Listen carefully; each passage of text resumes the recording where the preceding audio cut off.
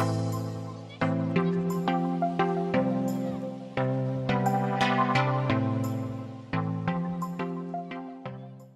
já vás vítám u dnešního videa a dneska tady pro vás mám oblíbence za měsíc říjen. Tak já mám dneska takovou natáčecí neděli, tak doufám, že mi to bude ještě mluvit. Teďka tohle to momentálně třetí video, ještě mě čeká čtvrtý, takže snad to bude v pohodě, ale myslím si, že určitě jo, že jsem na to už zvyklá vždycky takhle točit dopředu. První, co tady mám, je samozřejmě sprcháč. Tentokrát mám tady tenhle ten sprcháč od Avonu. Já jsem ho dostala ještě zpětně, nebo respektive opožděně k narozeninám od Péti a je to teda úžasná vůně, je to kokos a papája, znám mě, je to teda Caribbean koláda a naprosto nádherně to voní a, a on má tyhle ty sprcháče super, tenhle ty senses, takže tohle je hodně, hodně oblíbený a velice krásně voněvý sprcháč. Dál tady mám o, odličovač očí, hlavně pro mě, a je to tady ta černá řada od Nivy, je to teda Micellar Air. Tady tahle ta micelárka nezanechává žádný olejovitý, tak je ten film na obličeji. Musím teda říct, že dlouho jsem ji odolávala, než jsem ji zkoušela a jsem ráda, že jsem ji vyzkoušela, protože opravdu velice hezky to odličuje oči. A nepálí to do očí, nezanechává to takový ten olejovitý film na očích, takže to není mastný. Pro ty z vás, který to nemáte rádi, a musím říct, že teda jsem s ní velice spokojená. Docela uh, si myslím, že by byly i super a ty jejich ubrousky a ta velká micelárka celkově na obličej, ale co se týče těch očí, tak super. Takže si myslím, že co se týče uh, té tý oční péče a toho odličování, tak tohle je jedna z dalších dobrých věcí právě na odličování. Jako další tady mám nějakou péči o obličej a taky odličování a hlavně čištění té pleti. Tentokrát tady mám Žaju a je to jejich nová řada tak Danskin, která je v těch modrobílejch barvách. Tohle je teda mycí olej a je hydratační. Tohle je strašně zvláštní věc. Vy, když si to nastříkáte vlastně na tu ruku, na ty ruce, tak je to takový vodovo, lehonce olejovitý. Na obličeji vám to pění, ale olejovitý to není. Je to takový, mě to připomíná trošku jakoby ála suchý olej, ale taky ne. Takže opravdu ta textura celé té věci je hrozně zvláštní. Jemňounce to voní, není to nějak extrémně parfémovaný. A myslím si, že ten obličej to čistí velice hezky a nechává ho takový jako vláčný lehonký film bych řekla, že tam ten olejový je, ale nic extrémního, že byste se jako leskli nebo nic takového. Takže opravdu je to hodně zajímavý. Připomíná mi to trochu nějaký jako suchý olej, který ale zároveň jako lehonce pění na tom obličeji. Zajímavá záležitost, ale za mě velice, velice dobrá. Dál tady nesmím opomenout tenhle ten můj milovaný a oblíbený peeling na obličej, je to teda od Beauty Formulas, já se ho objednávám u kluků v drogerii zde. Je to teda merunková záležitost, kdy ta zrníčka uvnitř jsou poměrně větší. Velice hezky to voní a tohle je opravdu můj oblíbený peeling. Já jsem předtím měla avokádo s okurkou, který byl taky naprosto super a tohle je možná ještě o něco lepší. Ty zrnička jsou takový hrubší, takže máte opravdu pocit, že to krásně čistí tu pleť, ale zároveň ji nějak jako nepoškodí, takže opravdu pokud scháníte nějaký poměrně cenově dobrý peeling, který bude fungovat a bude vám čistit hezky pleť a zbavovat vás nečistot a podobných záležitostí, tak si myslím, že tohle je hodně dobrý. Jako další tady mám ještě jednu věc od Žaji a tentokrát je to tohleto sérum. Je to sérum z řady Acai Berry. Takže hodně zajímavá záležitost. Já tady mám i denní krém, ale musím říct, že tohleto sérum, který používám na noc, jsem si oblíbila o něco víc. Má to takovou gelovitou texturu s tím, že je to velice příjemný a velice příjemně to voní. A tohleto sérum je určený nejenom na obličej, ale i na krk, takže můžete se starat i o tu pokožku na krku a, mělo by to být vlastně taky jakoby vypínací hydratační sérum, který opravdu je příjemný a velice ráda ho používám už nějakou dobu. Dávala jsem i post na Instagram s obouma toma produktama, takže se můžete mrknout a za mě je to velice, velice dobrý sérum a hlavně příjemný. Jako další tady mám balzámek Narty, tentokrát je to od Blistexu. Já si myslím, že ten, ten balzám už někde ukazovala.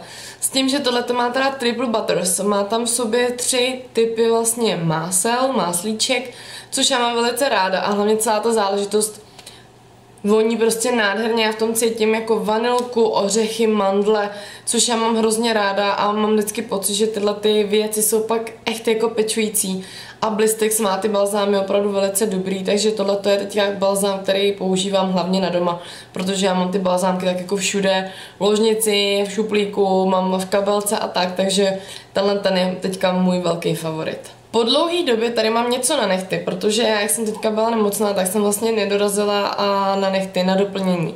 Takže jsem si svoje nechty jako přelakovávala. Sice to není úplně geniální, protože jsem si je i brousila a pilovala, protože už to bylo hodně dlouhý, některý jsou zlomený, no prostě jako katastrofa sama o sobě.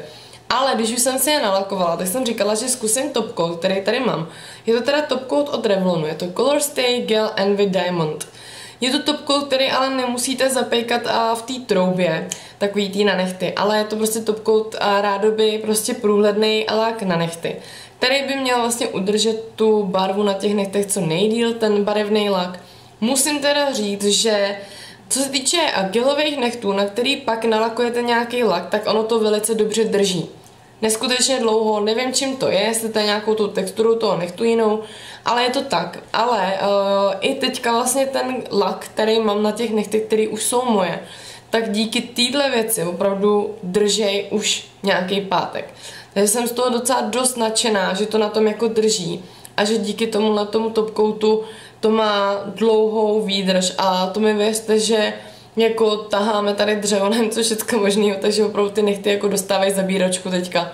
Ale díky tomuhle to je super, takže rozhodně tohle můžu doporučit. Dál tady máme rozjasňovač, který určitě musím zmínit, je to teda ta nádhera, je to teda od Makeup Revolution, Renaissance, Illuminate a je to Radiant in Rose, je to tenhle ten krásný, hlavně to balení je fakt krásný. Tenhle ten nádherný rozjasňovač, který je vlastně jako trojitej, máte tam takovou tu zlatavou verzi, světlounce růžovou a tmavší. Je fakt krásný tenhle ten rozjasňovač, máte tam i zrcátko, to balení je naprosto luxusní. Já dělám teda to, že si jako spojuju ty tři rozjasňovače v jeden. No, to je prostě, vidíte to, to je fakt bomba. Prostě nádherný rozjasňovač. A samozřejmě můžete si nabírat i ty jednotlivé barvy, to už záleží jenom na vás, jestli to chcete víc jako do zlata, nebo takový to jako a rádoby rose gold. Tady vidíte tu zlatou verzi, takže opravdu je to už jenom na vás, ale tohle je fakt nádherný rozjasňovač, který byl vlastně ještě zabalený v takovém látkovém pouzdírku. Krabička, no prostě opravdu luxusní balení a je to nádherný rozjasňovač z drogerky. Teď to bude trošku Makeup Revolution věc, ale věc, kterou opět musím ukázat a se kterou jste teďka mohli vidět i tutoriál, který jste mi dost chválili, za což moc děkuju.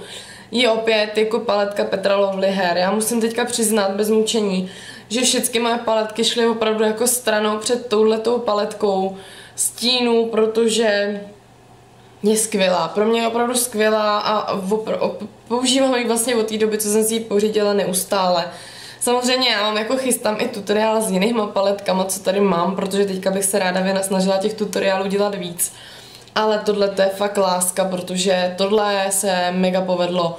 Je naprosto geniální, kolik těch stínů tam je, že tam není žádný zrcátko, že to je prostě plně využitý a ty stíny jsou za mě opravdu výborný, takže pokud jste ještě někdo ve váhání v tom, jestli si ji pořídit, pořiďte, je opravdu výborná. Stejně výborný je tohleto pero, tenhle ten fix na oči, uh, Revolution, podle mě to je zase ta Renaissance řada. A tenhle ten fix je naprosto skvělý v tom, že tam je ta kulička, že ta kulička vlastně protřepává tu tekutinu, která je uvnitř. To znamená, že ten fix výborně kreslí. Já od té doby si hrozně ráda teďka dělám zase linky, po dlouhé době, dlouho jsem si je nedělala. Ale nějak mě to teďka začalo zase opět bavit. A není to pro mě taková jako tráka jako dřív, když jsem si je vždycky dělala po dlouhé době a nevěděla jsem jak na to.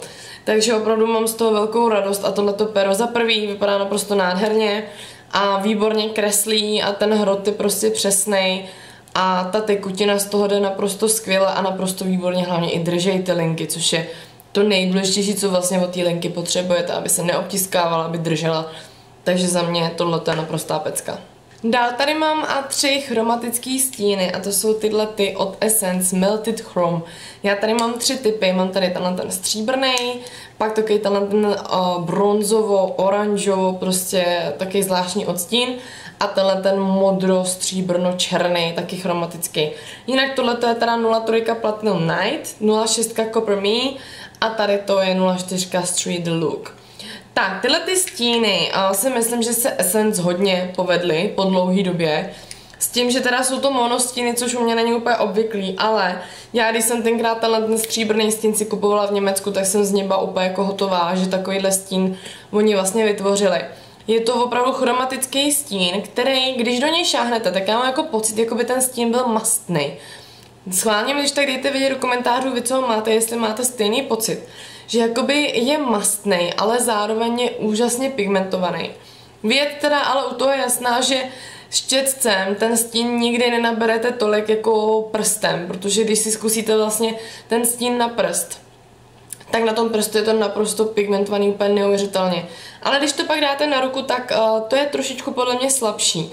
Ale pořád, když se kouknete, tak ty stíny jsou fakt nádherný, krásně jako chromatický. Já teda hlavní favorit je u mě tenhle ten stříbrný. Líbí se mi prostě ať už do prostřed víčka nebo do vnitřního koutku. Ale jinak teda si myslím, že všechny ty odstíny jsou naprosto skvělý a pokud chcete vyzkoušet nějaký chromatický stíny, tak abych se na ně mrkla. Já myslím, že stojí něco kolem 80-90 korun, teď si nejsem úplně jistá.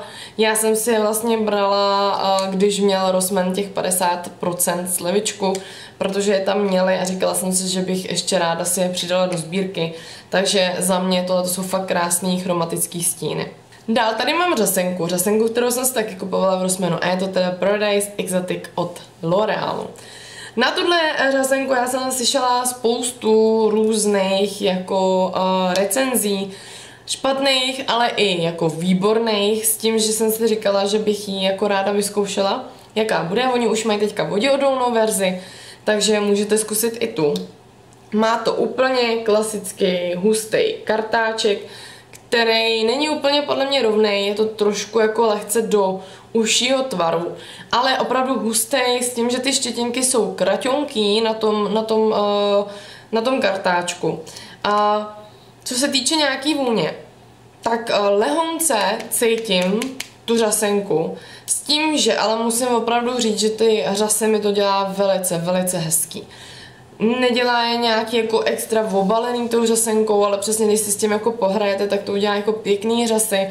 A vím, že mi někdo psal, že jako když je základ řasu dobrý, tak i potom vlastně jako nějakákoliv řasenka je funkční. Samozřejmě záleží na tom, jaký řasy máte, jaká řasenka vám jako plně vyhovuje.